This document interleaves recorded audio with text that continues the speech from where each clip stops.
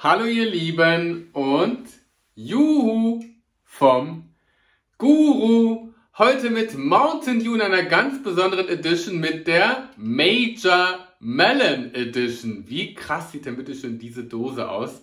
Voll das schöne Design. Ich würde manchmal echt gerne mehr aufbewahren, aber dann platzt meine Wohnung auseinander. Aber so eine Dose, die würde ich gerne sammeln. Ich habe früher in den 90ern übrigens Cola-Dosen gesammelt. Wer noch? Schreibt es in die Kommentare. Meine liebste, schönste Cola-Dose war die vom Bon Jovi. Die war nämlich grau und hatte so ein rotes Herz. Aber ich schweife schon wieder ab. Mountain Dew Major Melon gibt es in den USA als Special Edition und hier in einigen Online-Shops zu bestellen. Ich habe sie wieder von meinem Haus- und Hoflieferanten Beast Mode Germany und ich bin sehr gespannt, wie diese kriegerische Wassermelone hier schmeckt. Das Design ist echt total irre. Ich frage mich gerade, spreche ich eigentlich Mountain Dew richtig aus? Ja, da hat mich, glaube ich, schon jemand darauf hingewiesen. Ist ja nicht der erste Mountain Dew-Test, aber ich bin jetzt gerade angefangen. Ich dachte immer, es gibt halt nur in einer Sorte. Es gibt ja so viele Sorten davon, ihr Lieben.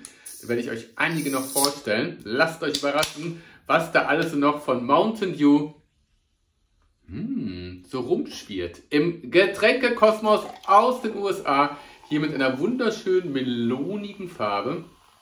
Und koffeinhaltiges Erfrischungsgetränk mit Wassermelonengeschmack. Das habe ich nämlich auch gefragt. Ist ja eigentlich Koffein drin? Die Frage ist hiermit beantwortet. Ja, hier ist Koffein drin.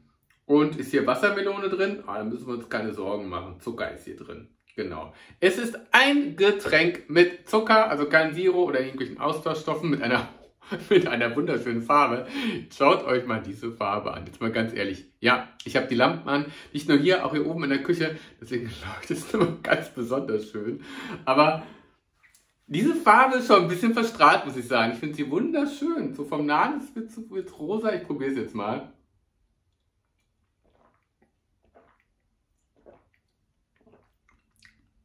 Oh, ist erfrischend und gar nicht so übersüß wie erwartet. Schmeckt echt wie so eine coole Wassermelone, wie krass.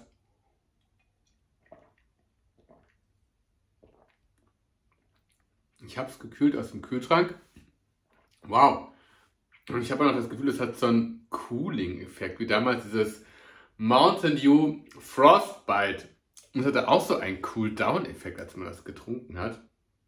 Echt irre. Koffein ist übrigens 15,5 Milligramm pro 100 Milliliter. Das geht also nicht ganz so extrem. Ich glaube, das Maximum in Getränken in Deutschland liegt bei 25 Gramm, zumindest bei so Cola-Getränken. Ich glaube, wenn man Energy Drink hat, kann man sogar noch bis 30 Milligramm pro 100 Milliliter reinstecken. Vom Geschmack her ist es lecker, nicht übertrieben, nicht übertrieben, übertrieben, süß, angenehm aber jetzt auch nicht den Geschmack neu erfunden, dass ich jetzt hier ausraste und sage so, wow, das ist der geilste Wassermelonengeschmack aller Zeiten. Ist nice to have, kein Überflieger, ganz lecker, cooles Dosendesign. Mit dem Cool-Effekt ist noch ganz gut dabei, auf einer Skala von 1 bis 10. Wirklich gibt es dafür 7 gute Punkte. Hier oben könnt ihr den Kanal abonnieren. Daumen nach oben, das heißt 7 Punkte. Kann man machen, muss man aber nicht. Und wenn ihr den Kanal abonniert, dann gibt es definitiv, könnt ihr auch noch weitere Mountain Dew Tests hier sehen und schreibt ruhig in die Kommentare, was ihr euch sonst noch für Getränke wünscht. Bis bald, ihr Lieben. Tschüss.